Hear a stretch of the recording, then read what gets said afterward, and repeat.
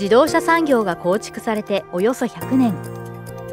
1世紀ぶりに新しいモビリティのスタンダードになりうる空飛ぶ車は滑走路が不要となり狭いエリアでの運用が可能になる垂直離着陸。騒音の低減環境性の向上につながる電動。パイロットが不要になりコスト削減が見込まれる自立をキーワードに開発が進められており定員数航続距離などに応じたさまざまなタイプの機体が開発構想されています。短中距離の人の移動物流の高速化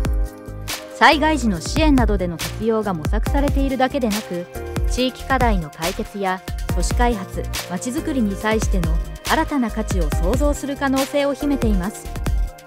自動車航空業界にとどまらずビジネスエコシステムが広がりを見せている現在。世界中で運航のみならずさまざまな事業領域の企業が事業開発や周辺サービスも含めた実証実験などを計画実施。さらに関連法規制の検討や空飛ぶ車の利活用に向けたビジョンロードマップの策定。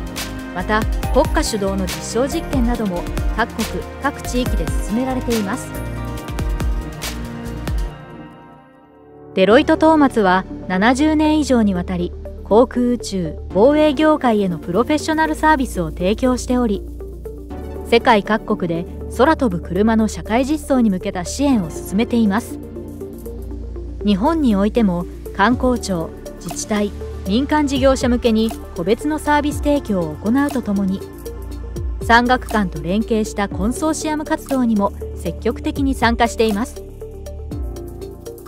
そして新たなモビリティが実装された社会を仮想体験できる VR コンテンツの開発などを通じ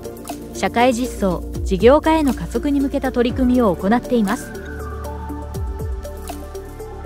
社会課題の解決多様なビジネスへの活用の可能性を秘めた空飛ぶ車。新たなモビリティのスタンダードへ向けデロイト・トーマツとともに歩みを進めていきましょう。